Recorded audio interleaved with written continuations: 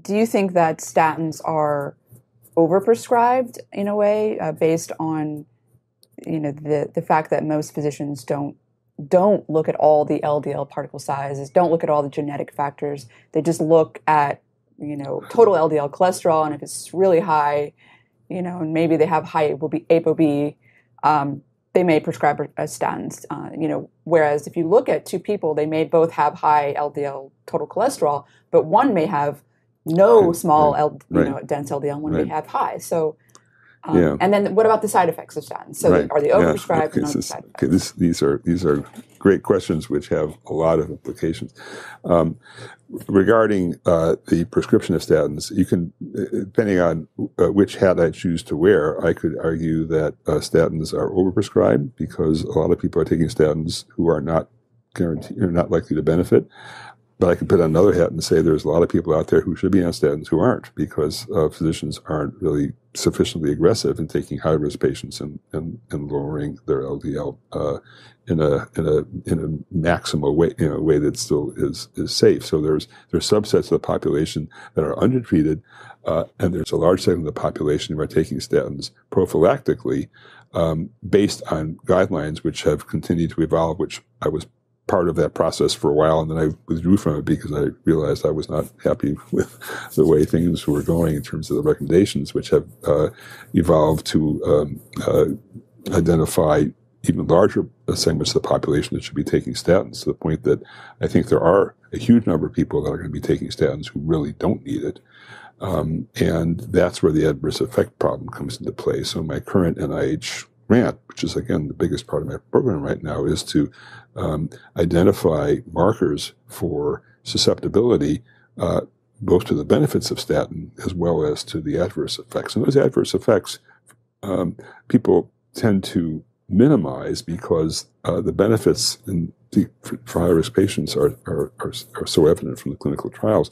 But as you look at the data, um, there are some pretty surprisingly uh, adverse things that are out there that um, are a little bit below the radar screen. Uh, one of them is muscle effects, uh, which certainly have been recognized. People tend to think about them in the more extreme case where people get muscle damage and, and life-threatening complications of, of muscle breakdown. Uh, that's very rare, fortunately. Otherwise, statins wouldn't be out there the way they are. But um, we and others uh, begin to develop evidence that there may be effects on muscle metabolism that might be much more uh, widespread, that could uh, uh, accumulate over time in, in, a way that may not be manifest in an obvious symptom, but could lead uh, to changes in, in muscle function, muscle strength. Um, this is a hypothesis that underlies the work that we're doing now. Uh, uh, in terms of the adverse effects of statins on muscle.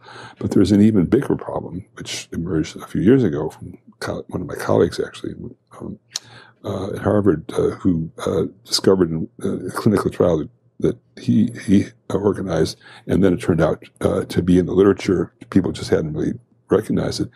Um, a, a, significant percentage of people taking statins are going to develop uh, diabetes.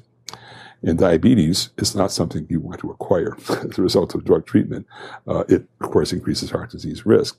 Um, the magnitude of that effect turns out to be surprisingly high. It's um, something on the order of 11 to 12 percent of statin users um, are at risk for developing type 2 diabetes. In women, in particular, we published the paper that sort of opened this up, actually. Um, in women, the evidence is that maybe uh, two or three or four times that maybe as many as 30 to 40 percent of otherwise healthy women who are put on statins um, uh, could go on to develop type 2 diabetes over over time. Uh, that's a that's a very unacceptable number. Now, if you're a woman that uh, has a high LDL or woman that has a very strong uh, predisposition to heart disease risk, that, that shouldn't stand in the way of treatment. But um, because our guidelines have opened up a statin use to a much larger percentage of the population as a prophylactic, uh, uh, in what's called primary prevention, that is, in healthy people who have not yet had evidence of heart disease but who are considered at risk, because a high percentage of those individuals, and women, I would point out in particular, uh, uh, have a, a, a, relatively higher uh, likelihood of an adverse effect, type 2 diabetes in particular, than benefit. Um, I think uh, we have to look seriously at uh, finding ways of improving our selection of patients uh, for statin use. And that, again, is driving my research. And fortunately, again, uh, as much as I'm uh, wedded to nutrition and, and its role in, in, in health and, and in heart disease in particular, um, uh, statins are a lot easier to study. And, um, uh, and so, and, so and, and, I think from a public health standpoint, um, uh, especially now with widespread use of statins, almost like a dietary supplement. Right? People take statins, you know, as if they're, you know, it's like a vitamin. Um, we have to be really careful about that and and that's where I think uh, maybe uh, hopefully with the studies we're embarking on and this year, in the current phase of our grant cycle, we're just starting to do this work.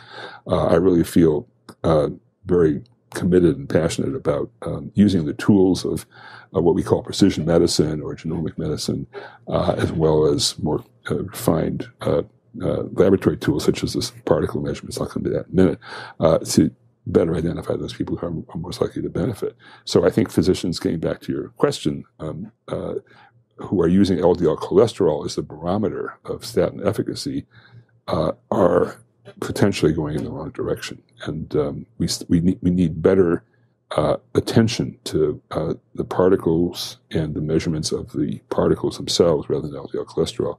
Uh, when we dis- when we as physicians are recommending, particularly drug treatment, um, uh, and we should be monitoring uh, those particles uh, as the primary target of treatment because they're the, and particularly the smaller particles, um, give us a much better handle on therapeutic benefit of, of any treatment.